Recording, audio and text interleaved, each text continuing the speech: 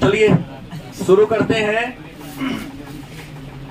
दिगंत पाठ, भाग संख्या दो। पाठ संख्या? भाग संख्या दो। दिगंत भाग दो, पाठ संख्या चार। काव्य खंड मतलब कविता वाला भाग।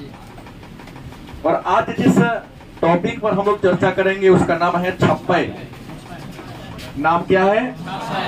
छप्पे। मन में होगा ये छप्पे क्या है? छप्पे कहते किसे हैं? तो आपके शब्दों में कहा जाए तो वह कविता, या वह दोहा, या वह छंद जिसमें छह गो लाइन हो। छह वाक्यों वाले पद को छप्पे कहते छप्पे क्या है? तो जिस पद में जिस पद में कितने वाक्य हो? छह वाक्य हो, उस पद को हम और छप्पे की रचना नाभादास नाभादास के द्वारा किया गया है। मैंने कल कहा नाभादास, मित्र थे गोस्वामी तुलसीदास के, या नाभादास, समकालीन थे गोस्वामी तुलसीदास के। दोनों बात हो सकता है। मित्र थे तो समकालीन हो गए तो छप्पे किसने लिखा? नाभादास ने लिखा। किसने लिखा? नाभादास ने लिखा। और छप्पे का मतलब क्या होता है? तो छप्पे का मतलब होता है कि वह छंद, वह पद, जिसमें कितने वाक्य हो? छह वाक्य हो। छह लाइन हो आपके शब्दों में। नहीं, उसे हम क्या कहते हैं? छप्पे को लिखा किसने? नाभादास ने लिखा। नाभादास ने लिखा और छप्पे को किस पुस्तक से लिया गया? है इसका स्रोत क्या है? तो छप्पे को भक्तमाल। माने भक्त की माला। जितने भी संत कवि हुए हैं, जितने भी भक्त कवि हुए हैं, उन भक्त कवियों के बारे में नाभादास ने किताब लिख दिया। उन भक्त कवियों की विशेषताओं के बारे में एक किताब लिख दिया। उसी किताब का नाम क्या है? भक्तमाल। लगभग ये जो भक्तमाल पुस्तक है जिसको छप्पा छंद में लिखा गया है, और इसमें भक्तमाल में 200 भक्तों का चरित्र है। कितने? 200 भक्तों के चरित्र का क्या है इसमें? चित्रण है, वर्णन है, और भक्तमाल में 316 को छप्पा है। कितने छप्पे हैं? मतलब तीन सौ छप्पे सोलह को छप्पे है तीन सौ सोलह छप्पे में कितने भक्त कवि के विशेषताओं का गुणों का वर्णन है? दो सौ। और भक्तमाल की रचना किसने किया है? नाभादास ने। और आज जिस छप्पे को हम लोग पढ़ेंगे वह छप्पे किस किताब से लिया गया है? और आज दो छप्पे हम लोग पढ़ने वाले हैं। एक छप्पे में किसके बारे में वर्णन है? कबीर दास के बारे में। और दूसरा किसके बारे में? सूरदास के बारे में वर्णन है। मतलब दो गो छप्पे हम लोग अपनी पुस्तक में पढ़ेंगे। इसमें पहला छप्पे में नाभादास ने कबीर दास के गुण और कबीर दास के विशेषताओं के बारे में लिखा है। और दूसरा में सूरदास, जिनके बारे में चर्चा मैं पहले कर दिया हूँ। सूर सागर का दो पद, याद होगा? जागिए ब्रज राजकुमार कवल कुसुम फुले। नहीं, याद है कि नहीं? दो पद पर आया, एक जीवत श्याम नंद की कन्या कजु, खात, कजु की रावत छवि निरखत नंद, रनिया। याद है कि नहीं? हाँ याद रहना चाहिए। क्योंकि पूछता है प्रश्न, बड़ी बड़ा बेसन बहुभातिन, व्यंजन विविध हनिया, किस किताब से लिया गया है? किसके ले इसके लेखक कौन है? कविता का लाइन पूछ देगा और पूछेगा क्या? किसने लिखा? किस पुस्तक से लिया गया? जैसे हमने कल पढ़ाया था कबहू का अम्ब अवसर पाई। मेरी ये सुधी भाई भी कथु कछु करुण कथा चलाई। विनय पत्रिका से लिया गया है, लिखे किसने है? तो आपको लाइन याद रखना पड़ेगा, नहीं तो पाँच को प्रश्न आपसे ना बनेगा। गारंटी है इसकी। तो हमने कहा कि जो भक्तमाल है, इसमें 316 छपे हैं और भक्तमाल में 200 भक्तों के चरित्र का वर्णन है। और भक्तमाल को छप्पे शैली में या छप्पे छंद में लिखा गया है तो छप्पे, जिसकी रचना नाभादास ने किया, और छप्पे को किस पुस्तक से लिया गया है? भक्तमाल से, और भक्तमाल को किसने लिखा? नाभादास ने लिखा। तो छप्पे को पढ़ने से पहले हम नाभा दास के बारे में जान ले कि नाभादास थे कौन। तो नाभादास के बारे में कहा जाता है कि नाभादास, जिनका जन्म 1570 ईस्वी में दक्षिण भारत में हुआ था। नाभा दास जिनका जन्म 1570 में दक्षिण भारत में हुआ था। विद्वान कहते हैं, इनका संबंध दलित समुदाय से था।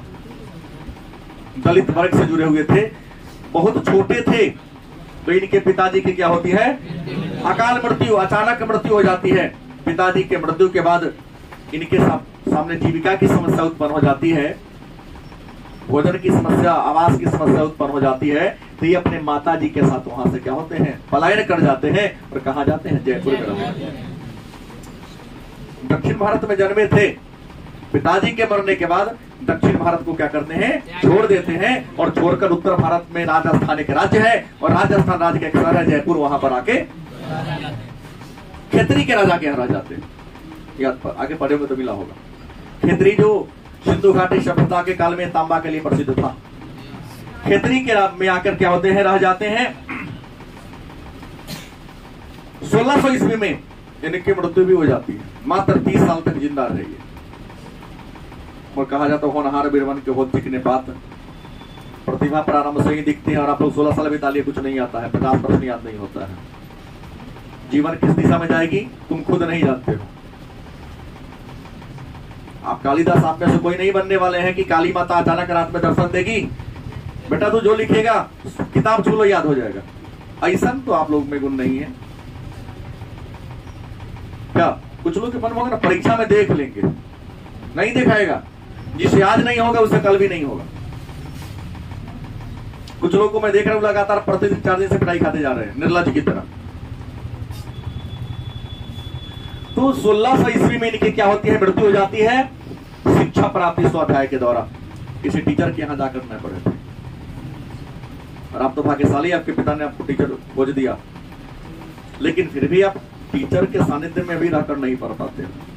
लेकिन बिना शिक्षक के इन्होंने शिक्षा प्राप्त किया। लेकिन युवावस्था में प्रवेश किए और प्रवेश करते इनके माता जी का भी देहांत हो जाता है। मतलब सहसवा बाल्यावस्था में पिताजी मर जाते हैं और युवावस्था में प्रवेश करते हैं, किशोरावस्था में सॉरी तो इनके माता जी का भी क्या होता है? ध्यान देहांत हो जाता है, मर जाते हैं। वही माता जी की जब मृत्यु हो जाती है तो खेतरी के राजा के यहाँ क्या कर लेते हैं? जो नौकरी कर लेते हैं, उन्हीं के दरबार में रहते हैं। और खेतरी के राजा के यहाँ जब ये नौकरी कर लेते हैं तो इनकी जीव उन्हीं के सानिध्य में रहकर क्या करते हैं? ज्ञान अर्जन करते हैं, स्वाध्याय के द्वारा। इनकी अभिरुचि, लोक दर्शन, घूमने में इनको लोगों से मिलने जुलने में इनको बड़ा मन लगता था और भगवत भक्ति भगवान की भक्ति करने में, दो ही काम था, लोगों से मिलना जुलना और ईश्वर की भक्ति करना, इनको विशेष पसंद था। दीक्षा गुरु, शिक्षा नहीं, धर्म का ज्ञान देने वाले जो गुरु थे, उनका नाम था स्वामी अग्रदास। कई बार पूछा गया प्रश्न कि नाभादास के दीक्षा गुरु कौन थे अग्रदास? स्वामी अग्रदास। और अस्थायी रूप से वृंदावन में निवास करते थे। राधदेव राम मार्गी विचारधारा के संत थे। शगुन विचारधारा के संत थे। ईश्वर को मानते थे, मूर्ति बनाकर पूजा करते थे। इनके राधदेव कौन थे? राम। और इनके समकालीन कवि कौन थे? गोस्वामी। समकालीन कवि कौन थे? गोस्वामी तुलसीदास इनके समकालीन कवि थे। और इनकी प्रमुख रचना है भक्तमाल अष्टयाम। और ये अवधि भाषा के कवि थे। किस भाषा के अगर आपसे प्रश्न करें नाभादास का परिचय दें। आप लिखेंगे नाभादास नहीं, जो आधुनिक काल में अवधि भाषा के एक महान भक्त कवि या संत कवि थे, लिखा जा सकता है। नाभादास हिंदी साहित्य के आधुनिक काल के एक महान संत कवि थे या भक्त कवि थे, जिनका जन्म 1570 ईस्वी में दक्षिण भारत में हुआ था और मृत्यु सोलह सौ ईस्वी में हुई थी। पिता की मृत्यु के कारण दक्षिण भारत से पलायन कर गए और उत्तर प्रदेश के सॉरी उत्तर भारत के राजस्थान राज्य के जयपुर में आकर प्रवास कर गए, रह गए। स्वाध्याय के द्वारा इन्होंने शिक्षा को प्राप्त किया था। लोक दर्शन और भगवत भक्ति में इनकी विशेष रुचि थी। इनके दीक्षा गुरु का नाम था स्वामी अग्रदास। इन्होंने अस्थायी रूप से वृंदावन में निवास किया था। ये भगवान श्री राम की उपासना करते थे मतलब राम भक्त थे, और गोस्वामी तुलसीदास इनके मित्र या समकालीन कवि थे। इनकी प्रमुख रचना भक्तमाल और अष्टयाम है। दो ही किताब लिखा।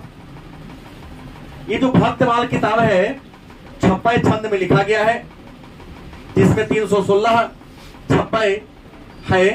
और 200 भक्त कवियों के चरित्र का चित्रण है, उनकी विशेषताओं का ज़िक्र है, और जो अष्टयाम है, उसकी रचना दोहा चौपाई शैली में किया है। उम्मीद है इनके जीवन चरित्र को लिखा जा सकता है। तो अब यहाँ हम लोग प्रश्न जानेंगे कि इन्होंने जो छप्पा लिखा तो दो छप्पे हैं। पहला है, जिसमें कबीरदास के बारे में लिखा है और दूसरा जो छप्पा है, ये आप देख पा रहे हैं, इसमें इन्होंने सूरदास के बारे में लिखा है। तो पहला प्रश्न यहाँ कन्फ्यूज़न दूर कर लेना है कि छप्पे को लिखा किसने? किसने लिखा? नाभादास ने लिखा। और नाभादास ने पहले छप्पे में किनकी विशेषताओं का ज़िक्र किया है? किनकी विशेषता का? और नाभादास ने दूसरे छप्पे में किनके विशेषता का ज़िक्र किया है? तो सूरदास के विशेषता का ज़िक्र किया किनकी विशेषता का? तो पहले छप्पे में, कबीर के बारे में और दूसरे छप्पा में सूरदास के बारे में चर्चा किया है। तो आप लोग अपने पुस्तक को निकालेंगे और पुस्तक में देखेंगे, पहला पद, पहला छप्पे लिखा है भगति विमुख जे धर्म सो, सब अधर्म करी गाये भले ही यह वाक्य नाभादास का है, लेकिन नाभादास ने इस वाक्य के माध्यम से, इस छप्पे के माध्यम से कबीर दास के बारे में बताया है कि कबीर दास कैसे थे, उनकी विशेषता क्या थी। कबीर यूँ ही कबीर नहीं थे। ऐसे कबीर का मतलब ही होता है महान। पढ़ाया हूँ मैं इतिहास में। कबीर का शाब्दिक अर्थ क्या होता है। क्या लिखा? भगति विमुख जे धर्म सो, सब अधर्म करी गए। नवादास कहते हैं कबीर देश के बारे में कि कबीर दास, वैसे लोगों की आलोचना किया है, निंदा किया भर्सना किया है, जो भक्ति से विमुख रहता है। क्योंकि दुनिया में जितना धर्म का काम है, वही भक्ति विमुख लोग करते हैं। नाम लेते हैं हम अमुक का ये करते हैं, अमुक का ये करते हैं। सिद्धांत कहेगा कि हम अहिंसावादी हैं, काम करेगा हिंसा का। कबीरदास ने लिखा कि भागत कबीरदास के बारे में नवादास लिखते हैं कि कबीरदास क्या सोचते थे कि भागति विमुख जो धर्म सो। मान वह व्यक्ति जो भक्ति से क्या है? विमुख है, अलग है। सब अधर्म करी गए। दुनिया का हर अधर्म वही करता है। क्योंकि भक्ति के मन पर रहेगा, उसके मन में थोड़ा सा डर होता है। काम करने से पहले सोचता है कि करेंगे तो इसका परिणाम क्या होगा। योग यज्ञ व्रत दान भजन बिनु तुक्ष दिखाए।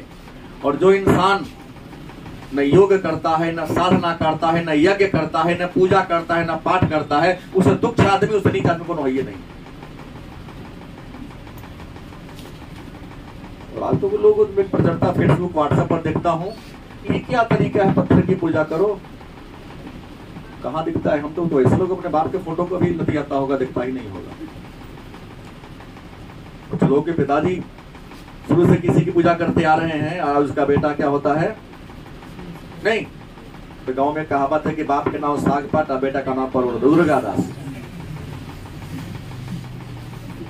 कल भी हम देखे फेसबुक पर किसी का डायलॉग पढ़ा था। ये लोग करता क्यों है? तो अपने पिता को पिता करना छोड़ो गारंटी क्या है कि तुम तो देखे हो कि वही तुम्हारा पिता है। धर्म एक क्या है? भरोसा है, विश्वास है।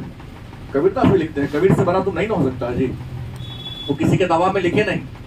वो तो हमें समन्वयवादी कवि थे, कबीरदास भी हिंदू और मुसलमान को जोड़ने का काम किया था। क्या लिखा? योग यज्ञ भरत दान भजन बिनु तुक्ष दिखाए। मतलब जो व्यक्ति न योग करता है, न यज्ञ करता है, न व्रत दान कुछ भी नहीं करता है उससे तुक्ष आदमी, उससे गिरा हुआ इंसान कोई है ही नहीं। क्योंकि हर बात को नेगेटिव सेंस में लेगा और जहाँ रहेगा, समाज में दुर्भावना फैलाने का क्या करेगा? वह धर्म एक ऐसा आस्था है जो लोगों को जोड़ने का काम करता है। हिंदू तुरक, परमान रमैनी सबदी साखी। हमने कहा, कबीर के द्वारा लिखा गया पुस्तक का नाम है बीजक। और बीजक के कितने खंड है? उम्मीद है पढ़ा दिया हो तीन नाम है साखी। सबदी, रामायणी पढ़ाया हूँ। याद होना चाहिए। कबीर कहते हैं, कबीर दस के बारे में नामादास कहते हैं कि हिंदू तुरक परमान रामायणी शब्दी साखी। मतलब कबीर दास ने कभी भी हिंदू मुसलमान परमान में अपनी पुस्तक, चाहे रामायणी हो, चाहे शब्दी हो, चाहे तीनों का मिला ज़रूर बीजक। क्या? कबीर दास ने कभी भी हिंदू और मुसलमान में भेदभाव करने का काम नहीं किया। सबको समान दृष्टिकोण से देखा।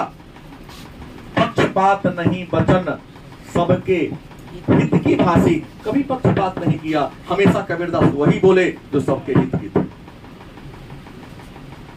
जैसे शायद मैं नहीं कहा हूँ, कबीरदास के बारे में बोला हूँ इतिहास में कबीरदास ने एक पद लिखा है कि मूर्ति पूजा का विरोध करते हुए कि पाहन पूजा तो हरि मिले तो मैं पूजू पहाड़, ताकि सो चाकी वाला जो कूट खाए संसार। मैंने पत्थर को पूजने से भगवान मिलता है तो पहाड़ की पूजा कर लेते हैं, क्योंकि भगवान बड़ा मिलेगा तो पुण्य की ज़्यादा प्राप्ति होगी। लेकिन अगर पत्थर को पूजा करने से भगवान नहीं मिलता है तो सिलौटी जाता की पूजा करो। क्योंकि सिलौटी पर मसाला तो पीस लेते हैं जाता से दाल या आटा तो कूट लेते हैं, गलत किसे? मुस्लिम बंधु हमारे बड़ा पसंद हो गया कि सही में मुसलमान है। का बेटा, तुम्हारे बारे में भी है मेरे पास। तो मुस्लिम धर्म के पखंड पर भी बोला कि कंकर, पत्थर, जोड़ी के मस्जिद लई चिनाए ताचड़ी मुल्ला बाग दे तो क्या बहरा हुआ खुदा है? कि कंकर, पत्थर को जोड़ के मस्जिद बना लिया और बड़ी ज़ोर ज़ोर से अल्लाह अकबर चिल्लाते हो कि अल्लाह बहरे हैं। शांत मन से पूजा करोगे तो इबादत करोगे तो अल्लाह पसंद नहीं होगा उन्होंने किसी को नहीं बख्शा। हिंदू के धर्म के बुराई का भी उन्होंने खंडन किया और मुसलमान धर्म में जो बुराई थी, उस पर भी उन्होंने क्या प्रहार किया? कुछ लोग जाति का पटनाका लेके घूमते थे। आज तो और जातिवाद हो गया है कि बीमारी पड़ता है ना, फिर अपना जाति डॉक्टर से देखा। पढ़ना है तो अपना जात के टीचरों का सफ़र। पढ़ाई में जाति क्या है? डॉक्टर में जाति क्या है? जो सबसे अच्छा होगा उसको हम दिखाएँगे ना। हम कई जगह पूछे तो कई तो फलानमा क्या चल जाएगी ना? हमने कहा ऐसा क्यों कहा इसमें? तो कर जात के इसलिए वहाँ भेज रहा है। नहीं, स्वास्थ्य में और शिक्षा में जाति नहीं। जो योग्य है उसको चुनना है हमको। ना जाति देखो, ना धर्म देखो। अगर अच्छा डॉक्टर मुसलमान होगा तो हिंदू के हम मरवाने जाएँगे। जाएगा सुइया भोग देगा, मर जाओगे। न मर जाओगे। तो उसे मरने से अच्छा उसे देखवा लो जाति का नंका धर्म का नंका मत पिको जीवन तुम्हारे लिए जो अच्छा वही करो। वही कबीर दास ने कभी भी नहीं कहा। वहाँ तो जाति प्रथा का विरोध कर दिया कि जात पात पूछा नहीं कोई। सिकंदर लोधी के सामने कहा था हरि का वजह सो हरि का होई तो कबीर दास सबको कुछ न कुछ लपेटिए लिए और कहा जैसन मुँह वैसन तमाचा दोगे ना एकदम दनादन इंसान रहेगा। मतलब आदमी से आदमी मिले तो होए दो दो बात गदहा से गदहा मिले तुम्हारे दो दो लाख तुम्हारे सामने जैसा इंसान आता वैसे वैसा ही बतियाओ ना। तुम्हारा खूब भेट देगा। इंसान उस काबिलियत है नहीं सम्मान के लायक है नहीं सम्मान दोगे तो चढ़ जाएगा तुम्हारा माथा पर। इसलिए मैंने कहा जैसा वैसा तमाचा दो शांत रहेगा सामने वाला। अगर उसकी काबिलियत से अधिक वेट दोगे तो तुम्हारा वैल्यू करना लगेगा बाप रे हम तो गवर्नर हो गए भाई। हम नहीं बोल रहे कबीर दास का ऐसा विचार है। कल पक्षपात नहीं वचन सब ही के हित की भाषी कबीर दास ने कभी किसी के पक्षपात पूर्ण बात न जाति के विरुद्ध में बोले न धर्म के बारे में कहा न धन संग्रह के बारे में, इन्होंने हमेशा वही बोला जो सभी लोगों के कल्याण की बात थी हित की बात। थी आरूढ़ दशा है, जगत पे मुख देखी नहीं बनी। स्थिति कितना भी विषम क्यों ना हो, लेकिन कबीरदास कभी मुँह देखा बात? आज तो देख रहे हैं। आई दो सिंघारा खिला दिया तो अग्नि पक्ष में बोल देता है। पान खाने पर पंच पंचायती बदल देता है। ना चाय पिया के एक गाँव के सरपंच है जो चाय पी के पंचायती बदल देता है। लेकिन कबीरदास के बारे में कहा जाता है कि आरूढ़ दशा है जगत पे, मुख देखी नहीं भानी। कितनों स्थिति विषम क्यों नहीं हो, लेकिन कबीर कभी मुँह देखा बात नहीं किया। उनको मार दो कोई दिक्कत नहीं। जैसे उनको सिकंदर लोधी के सामने प्रस्तुत किया गया। हिंदू कहता था कि हिंदू को अगर गरियाता है, मुसलमान कहता है, मुसलमान को गरियाता महाराज इसको सजा दीजिए। सिकंदर लोधी ने प्रश्न किया, तुम्हारा धर्म क्या है? जाति क्या है? उस सिकंदर लोधी के सामने ही उन्होंने कहा कि जाति पाति पूछे नहीं, कोई हरि का भजे सो हरि का भजे जाति में क्या रखा भगवान की पूजा करते, भगवान का देंगे गलत है, सही। तो कबीरदास कभी मुँह देखी बात नहीं, बोला कि चाहे उनके ऊपर तलवारें गिरा दो। इसलिए आंग सांग सुकी ने एक किताब लिखी, उसका नाम था, फ्रीडम फ्रॉम फियर। जीवन में आगे बढ़ना है तो अपने आप डर से मुक्ति पाना पड़ेगा। वो इंसान कभी नहीं आगे बढ़ेगा जिसके अंदर क्या हो डर हो। फ्रीडम फ्रॉम फियर का मतलब भय से मुक्ति। क्या? उसको घर में ही नज़र बंद कर दिया, वहाँ के तानाशाह राजा ने। उसके पति कैंसर से मर गए, निकलने नहीं, लेकिन सिद्धांत नहीं छोड़ी। और जो इंसान सिद्धांत को बदल लेता है, कहीं का नहीं रहता। लास्ट है कबीर कानी राखी नहीं, वर्णाश्रम सट दर्शनी। और कबीर दास ने कभी भी वर्णाश्रम व्यवस्था को नहीं माना। वर्ण कितने हैं? चार। ब्राह्मण क्षत्रिय, वैश्य और शूद्र। इस व्यवस्था को कबीरदास ने क्या किया? कभी नहीं माना। तो एक बात याद रखेंगे, अगर पूछेगा पूछेगा क्या? पूछा गया है कई बार। कि भागति विमुख जो, धर्म सो, सब अधर्म करी गाए और डॉट डॉट दे देगा। क्या लिख देगा? तो सब प्रसंग व्याख्या करे, भाव स्पष्ट करे, अर्थ स्पष्ट करे तो क्या लिखोगे? लिखेंगे कि यह पद हमारे हिंदी साहित्य के पाठ्य पुस्तक के दिगंत भाग दू के छप्पे शीर्षक पाठ से लिया गया है जिसके लेखक?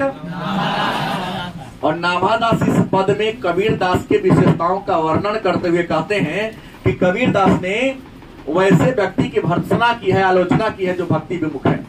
क्योंकि किया है। और योग, यज्ञ, व्रत, दान, भजन के महत्व का चर्चा किया है। कबीरदास ने कभी भी हिंदू और मुसलमान में भेदभाव नहीं किया और कभी किसी के पक्ष की बात नहीं बोला। हमेशा वही बात बोला जो सबके हित की हो।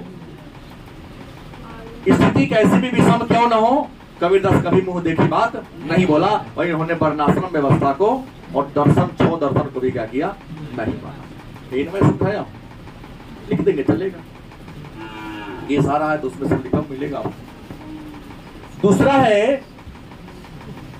सूरदास के बारे में, किसके बारे में? सूरदास के बारे में है, लेकिन लिखे तो नाभादासी है ना।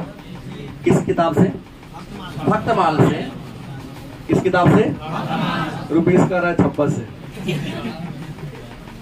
एक दो से बुला गया उक्ति चौज अनुप्रास वर्ण स्थिति अति भारी, वचन प्रीति निर्वही, अर्थ अद्भुत तुकधारी। प्रतिबिंबित दिवी दृष्टि, हृदय हरि लीला भासी, जन्म कर्म रूप, शवही रसना प्रकाशी। विमल बुद्धि हो तासु की जो यह गुण श्रवणनी धरे, सूर कवि तो सुनी कौन कवि जो नहीं सिर चालन करे।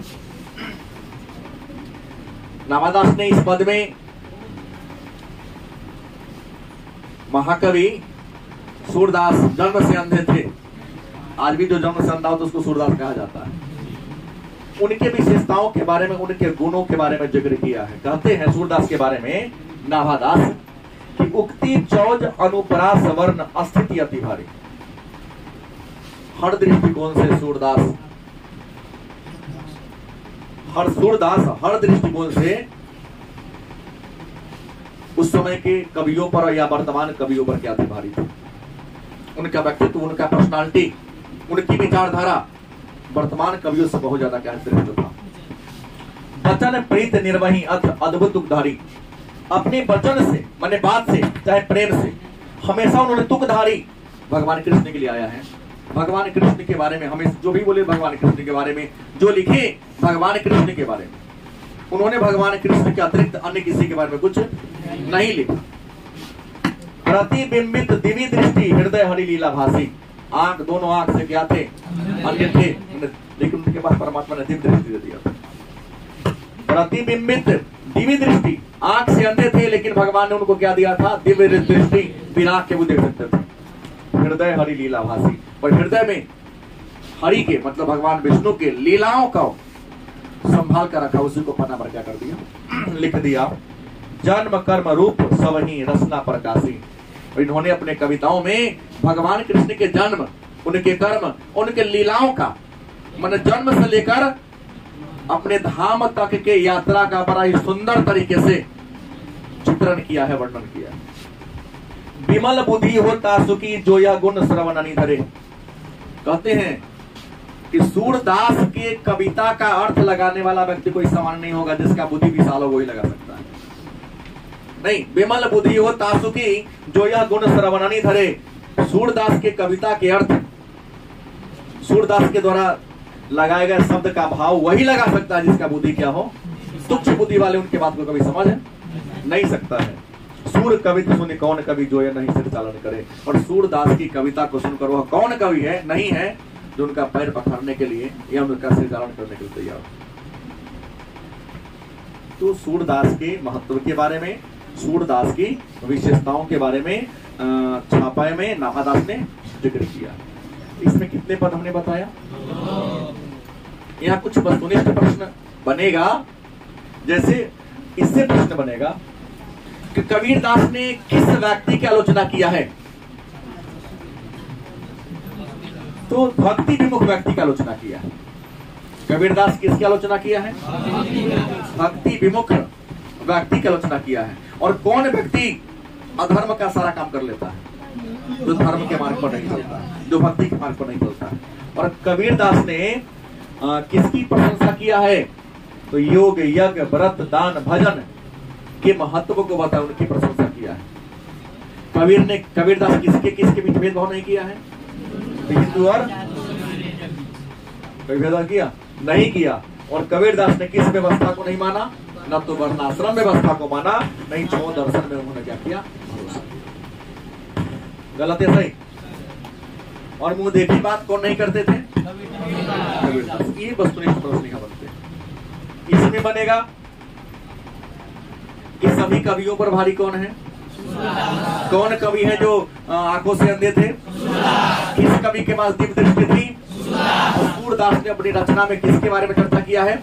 भगवान कृष्ण के बारे में। अब सूरदास के कविता का अर्थ कौन लगा सकता है जिसकी बुद्धि विशाल हो? और सूरदास की कविता को सुनकर कभी क्या नहीं करेगा? तो संचालन नहीं करेगा मतलब पैर को छुएगा नहीं पखारेगा नहीं। ये निष्कर्ष निकलेगा यहाँ से कुछ वस्तुनिष्ठ प्रश्न यहाँ पर आएगा कवि के बारे में आसान प्रश्न हो गया कि नाभादास का जन्म किधर हुआ था?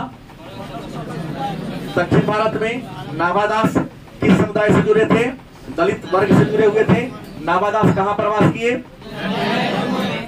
अस्थाई निवास, वृंदावन दीक्षा गुरु इनके राधेदेव राम इनके समकालीन कवि कौन थे? वो स्वामी तुलसीदास किस भाषा के कवि थे? अवधि भाषा के। और किन किन पुस्तकों की रचना किया? भक्तमाल और अष्टयाम। तो अष्टयाम किस शैली में है? वहाँ चौपाई शैली में। भक्तमाल किसमें लिखा गया है? चौपाई में। छप्पई कहते किसे हैं? छह छंदों वाले पद को छप्पई कहते हैं। भक्तमाल में कितने छप्पे हैं? तीन सौ सोलह। और भक्तमाल में कितने भक्तों के चरित्र का वर्णन है? दो सौ। तो ये आपका कविता रहा।